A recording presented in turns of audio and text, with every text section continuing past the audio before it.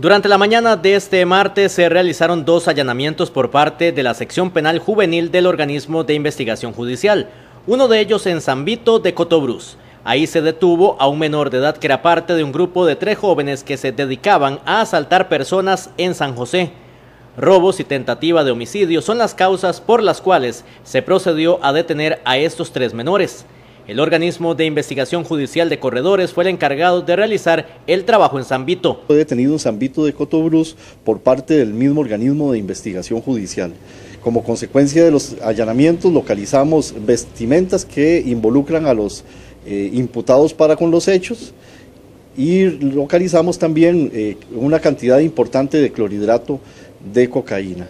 Los casos este, están siendo procesados, eh, vamos a trasladar los reportes al Ministerio Público y esa es la situación que en este momento tenemos con el asunto. El menor fue detenido en la zona sur y tenía un vínculo con los otros dos que vivían en la meseta central.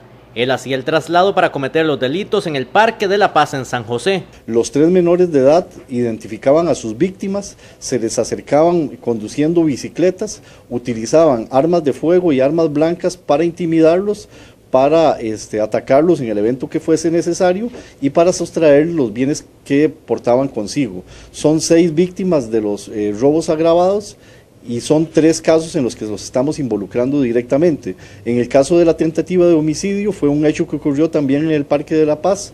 Eh, una de las víctimas eh, opuso resistencia y los menores de edad lo atacaron con arma blanca y le provocaron una perforación en el abdomen que puso en peligro su vida. Los tres trabajaban en grupo sin pertenecer a otra organización. No, es una actividad eh, autónoma de parte de ellos, ejecutada por ellos mismos y que estaba dirigida a la sustracción de bienes para su ulterior venta. El organismo de investigación judicial le seguía los pasos a los tres menores, entre ellos al detenido en San Vito, que se había desplazado hasta esta zona. lo que sabemos es que se había desplazado, ellos tienen algún tipo de vínculo, incluso dos de ellos son familia, me refiero al de 14 años y al de 17 y como consecuencia de tener establecido que se encontraban en el lugar, lo que hicimos fue coordinar con el organismo de investigación judicial de corredores y ellos hicieron la detención. Precisamente por eso estamos haciendo el traslado y estamos eh, presentando los menores al despacho que corresponde. Los hechos por los que son investigados se produjeron en marzo de este año.